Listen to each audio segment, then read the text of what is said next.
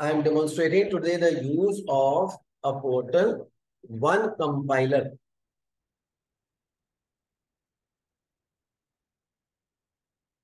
It's a very smart and active website. At the place where Java is written, you just select the language like I'm selecting MySQL. The list is given. I can select MySQL right now. As you all can see the template, that is the sample text is written, sample queries are written. I am just deselecting it, deleting the entire query written before. Writing the first command like create table ct that's coreTech.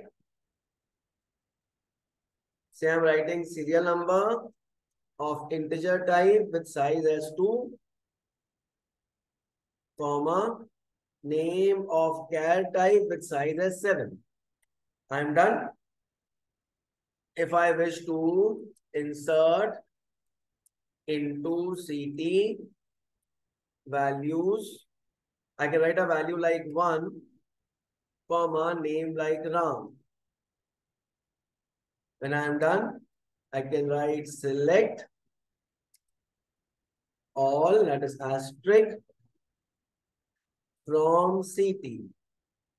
Let's click at the run button. So you all can see that whatever amount of information was typed at this place now is available over here, Ram. We can always code any sort of query like select SNO comma name from CT. And now what I can do is I can make some calculations also. Say SNO plus 5.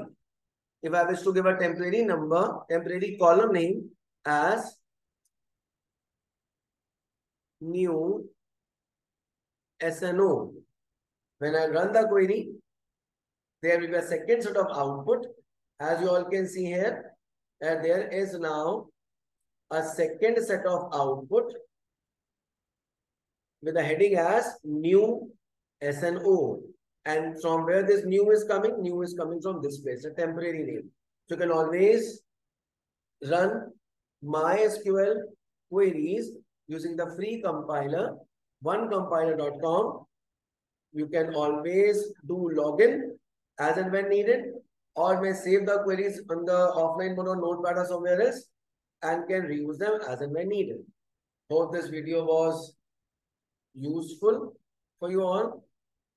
Thank you for viewing.